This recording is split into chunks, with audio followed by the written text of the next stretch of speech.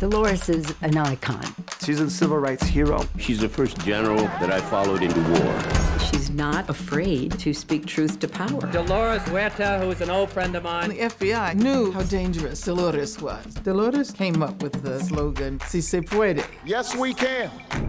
You were a young girl growing up in America in the 40s. You must have had a dream. After I had seen the miserable conditions of farm workers, Cesar Chavez said, we have to organize a union. You had this ambience all around you that you could really change the world. It was beyond question the largest gathering on behalf of farm workers in California history. I wish they'd all go back to where they came from. We have no labor troubles. She wasn't asking for permission. She just did what needed to be done.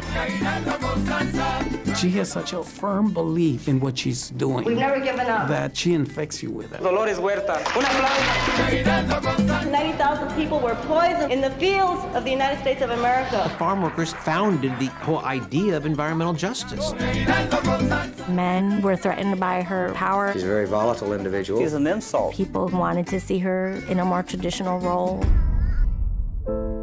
I left a couple of my children behind. That's part of the sacrifice that we made and that we had to make.